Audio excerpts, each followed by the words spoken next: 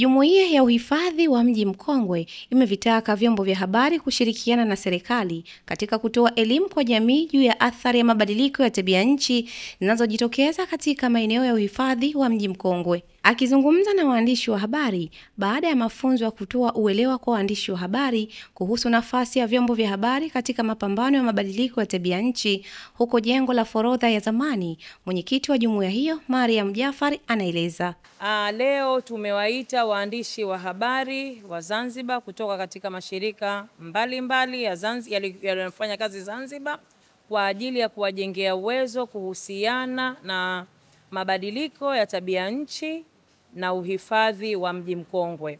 Mafunzo haya yalikuwa na umuhimu mkubwa kabisa kwa sababu tunaamini waandishi wa habari wana uwezo mkubwa wa kutusaidia katika kutoa taaluma ya uhifadhi wa Mji Mkongwe kwa kuzingatia kwamba kuna mabadiliko makubwa ya tabia ya nchi. Kwa upande wake, afisa mtendaji Makame Juma naye ameelezea juhudi wanazozichukua katika mapambano ya mabadiliko ya tabia ya nchi. Kwa sisi kama jumuiya ya hifadhi Mji Mkongwe tumekuwa tukichukua jitihada mbalimbali ikiwemo kutoa elimu kwa jamii eh, pamoja na wananchi ambao wanaishi Mji Mkongwe, namna gani wanaweza wakaboresha majengo haya kwa kutumia eh, material yale ya asili au vifaa vya ujenzi vya asili ikiwemo eh, dongo eh, mawe eh, chokaa pamoja na vifaa vingine kama hivyo.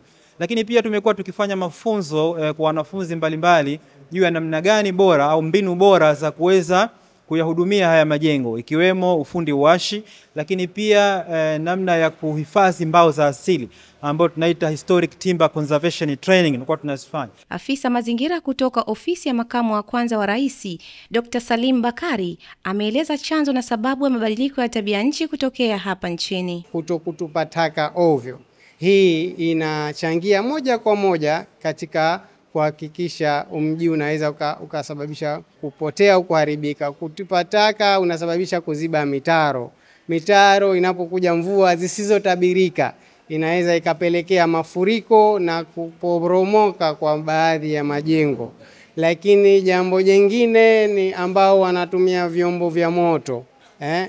Tuna, tuna tabia ya kutumia vyombo ambavyo uh, ni vya moto ambavyo pengine kuna vingine ambavyo vimewekewa limitation yani, uh, pengine usitembee na, na vyombo vya moto pengine vyenye kuzidi tani mbili au na kadhalika, sababu majengo haya hayahitaji mtikisiko mkubwa. Tuko kwenye eneo ambalo ni eneo la fungu, eneo ambalo uh, uhimilivu wake katika masuala ya mabadiliko ya tabia nchi ni, ni mdogo kulinganisha na maeneo mengine ya bahari Zanzibar. Kwa hiyo ningependa watu wasitumie vyombo ambavyo vina mingurumo mikubwa. Mji Mkongwe ni mji wa kale na kihistoria, umekuwa ni kivutio kikubwa kwa utalii na kuulingizia pato taifa pamoja na kusaidia vijana kwenye sekta ya ajira.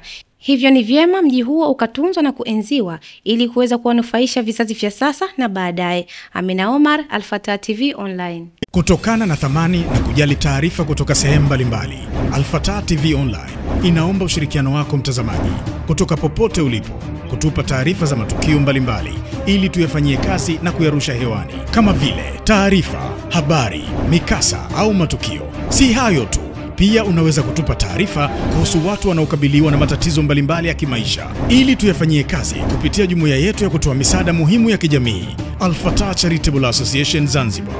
Wasiliana nasi leo kupitia namba zetu za WhatsApp alama ya kujumlisha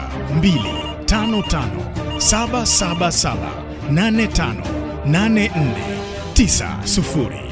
Wasilisha kwetu leo, tuifikishe kwa jamii leo. Al-Fatah TV Online. Dira ya Umma.